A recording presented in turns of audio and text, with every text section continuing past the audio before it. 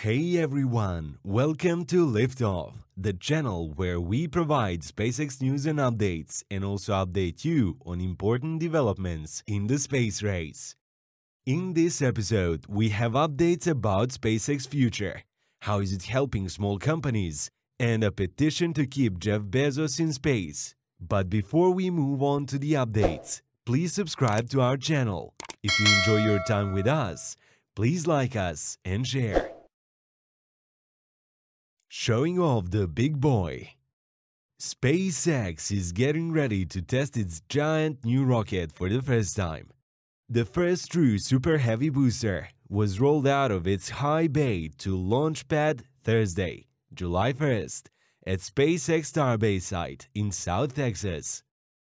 The 230 foot tall or 70 meters Super Heavy is the first stage of SpaceX fully reusable Starship transportation system, which the company is developing to help humanity colonize Mars, among other tasks.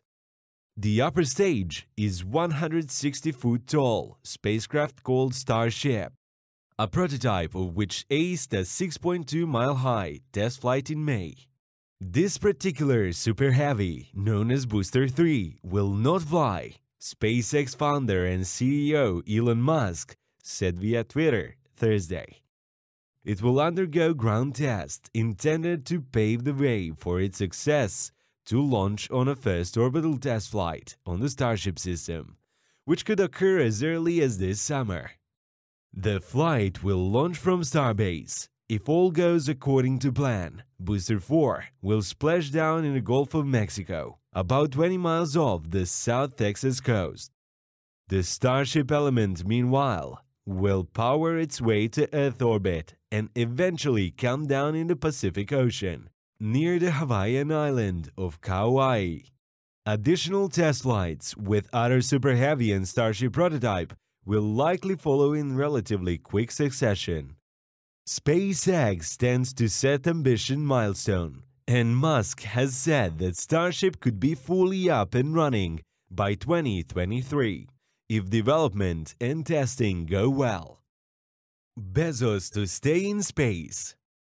A man called Geiger sums up the message behind the joke petition in one of the comments he posted to the petition's landing page on change.org.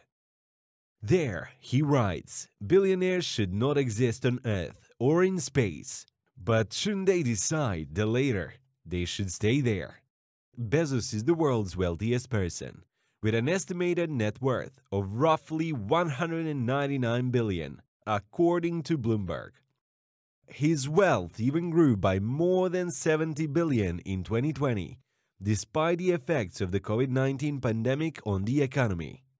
The founder of Amazon and private space company Blue Origin has faced quite a bit of criticism over the fact that he's accumulated a massive amount of wealth while reportedly paying little or no taxes at times.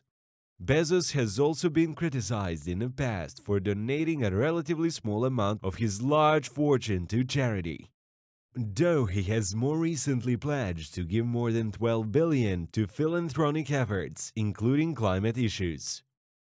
Geiger felt his petition would likely strike a nerve and a funny bone among those who, like him, are critical of Bezos' massive accumulation of wealth. While he didn't expect so many people to add their names to the petition, he hopes the unexpected visibility will draw attention to the more serious aspect of his criticism of billionaires like Bezos and the border issue of wealth inequality. Citing a 2020 survey showing that 63% of Americans were living paycheck to paycheck in the midst of the pandemic, and many average working class Americans facing crippling student loans or medical debt, Geiger claims. It is a slap in the face to watch billionaires like Bezos, Musk, and Branson play space race games with their hordes of wealth. In Bezos' case, the billionaire has invested heavily in his private space company, Blue Origin, at one point selling roughly 1 billion worth of Amazon stocks. SpaceX makes the world easier. When you spend millions to build a satellite, each second you wait for its launch carries the weight of years of hard work. Nobody knows that better than Doug Liddle, co-founder and CEO of In-Space Mission, and a nearly 30-year veteran of the space industry. He also led the design in the first Galileo satellite demonstrator, Europe's premier global navigation system satellite. Founded almost six years ago, Hampshire-based In-Space Mission aimed to achieve a significant reduction in traditional timescales to get technology in orbit. The company designed, built, and operate bespoke mission for clients. Using SpaceX Rideshare, which uses the orbital class reusable rocket Falcon 9. In space missions for recently sent one of the 88 small satellites, or small sats that went into orbit. For a large satellites, Liddle would previously have spent 11.8 million to launch one. Now the cost is around 1 million. SpaceX has revolutionized the cost, Liddle said. It isn't just the slots on their rockets that are low price. They're also going several times a year.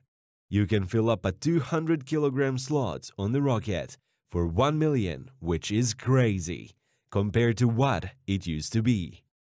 After having worked for the European Space Agency, the UK Ministry of Defence and several private firms, Liddle decided to gather smaller businesses or early-stage startups value in the 20 million range. There are people with great business ideas who don't know how to get their stuff into space, he said. Satellites provide deep insight for climate crisis research, but also have many common applications, including gathering data for credit card authorizations or even tracking wildlife. With the advent of SpaceX reusable rockets, Liddle said the sky's the limit for making space exploration more accessible. We are in a world now where people can come out of university, set up a space company, and get something in space in a couple of years, he said. That was just unheard of even 10 years ago. His company is already spreadsheeting its technological advancement to further equalize the space race, while also making it sustainable. Governments are increasingly implementing rules to reduce the environmental impact of spaceflight. More than 27,000 pieces of orbital debris or space junk are tracked by the US Department of Defense, according to NASA. You can't just keep putting things into space, Liddle said. There's only physically so much space you can go into before you start banging into each other. Historically, each launch satellite has served a sole purpose. Liddle Team, however, is not only hosting multiple customers on their satellites, but also design technology that will allow future satellites to be customizable from the ground. It's expected to be publicly available in 12 to 18 months. Liddle said, we've developed a piece of technology that's flying off this satellite, which we're then going to expand and fly on future ones, that will allow people to, from the ground, upload their payload, their service, their application. So, it will be like every app on your phone. The technology his team is developing will reduce the time scale from a few years to three or four months. That's it for today's episode. Thank you for joining us. Please like us and hit the subscribe button so we can notify you when the next episode is available. Until next time, it's bye for now from all of us at Liftoff.